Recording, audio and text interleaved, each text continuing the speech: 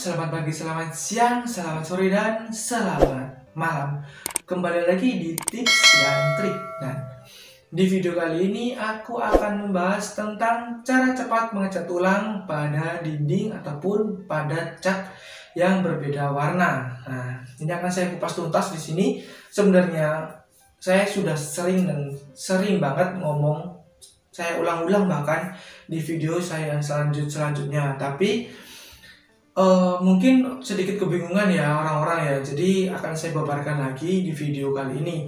Cara tercepat mengecat ulang pada dinding ataupun pada warna yang berbeda. Caranya adalah pasti dengan alkali sealer ataupun cat dasar. Karena apa? Kalaupun beda warna, misalkan nih ya, ditumpuk kuning, ditumpuk warna merah, ini akan sedikit lebih berat karena apa? Untuk menutup warna kuning merah membutuhkan sekitar 2 sampai 3 kali lapis. Itu baru bisa menutup dengan sempurna. Apalagi kalau warna merah itu uh, daya tutupnya itu kurang ya, kurang terlalu bagus uh, untuk warna-warna tua seperti ini.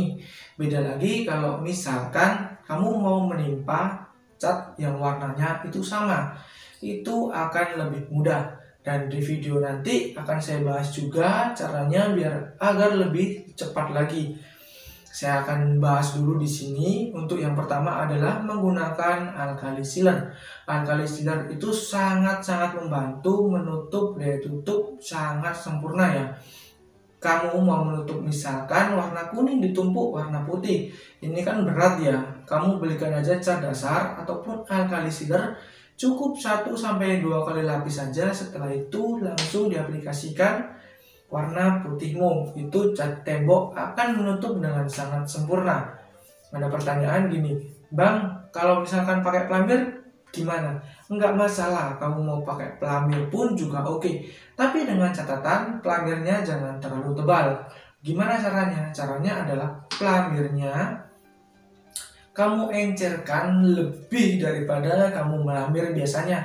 Jadi pelamirnya itu sedikit lebih ke lebih encer menyerupai cat ya. Jadi kamu kuaskan aja di tembok ataupun di dinding.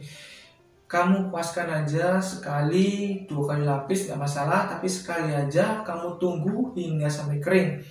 Untuk pengeringannya sendiri kalau pelamir itu membutuhkan waktu sekitar kurang lebih 2 jam. Tapi kalau untuk alkali sealer ataupun cat dasar bisa mencapai 4 jam ke atas. Kok bisa jauh berbeda? Karena cat dasar ataupun alkali sealer itu dia 100% akrilik. Beda kalau pelamir. Pelamir ataupun uh, pelamir instan ataupun pati itu kalau diencerkan ya tetap pakai semen putih ataupun tetap pakai uh, jenis semen-semenan kayak gitu. Jadi berbeda ya. Dan, itu adalah cara tercepatnya. Kamu mau pilih pakai alkali sealer ataupun cat dasar. Yang kedua adalah pakai pelamir yang diencerkan. Kalau saya sih mending pakai alkali sealer ataupun uh, cat dasar karena apa? Lebih lebih gimana ya?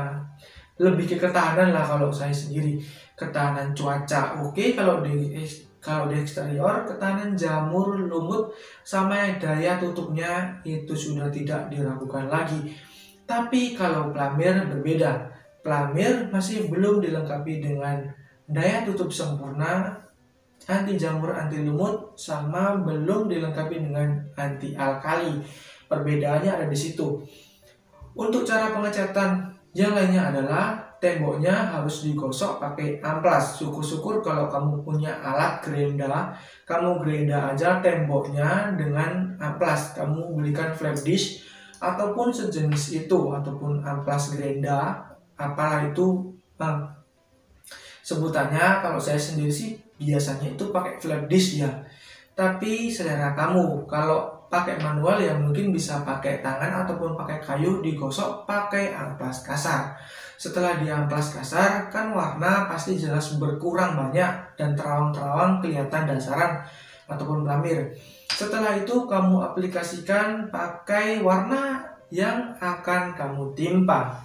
Misalkan kamu menimpa warna merah ke warna putih, Ya warna merahnya itu kamu amplas, kamu flabish itu juga bisa. Setelah itu baru diaplikasikan pakai cat warna sesuai apa yang kamu pengen. Yang lebih tercepat lagi adalah caranya menimpa dengan satu warna. Hmm, kalau kamu menimpa dengan satu warna itu nggak usah mikir, nggak usah terlalu belibet dan nggak usah ribet seperti itu. Misalkan kamu menimpa warna kuning, kamu belikan aja warna kuning yang lebih tua bisa, kuning yang sedikit lebih muda nggak masalah. Tapi dengan sedikit catatan, kalau kamu ingin menimpa warna yang sedikit lebih mudah daripada sebelumnya, dipastikan dulu kalau penurunannya penurunannya jangan terlalu jauh. Misalkan warna itu hanya turun setengah tingkat itu masih oke. Okay. Tapi kalau turun sampai satu tingkat, pasti juga akan berat seperti itu.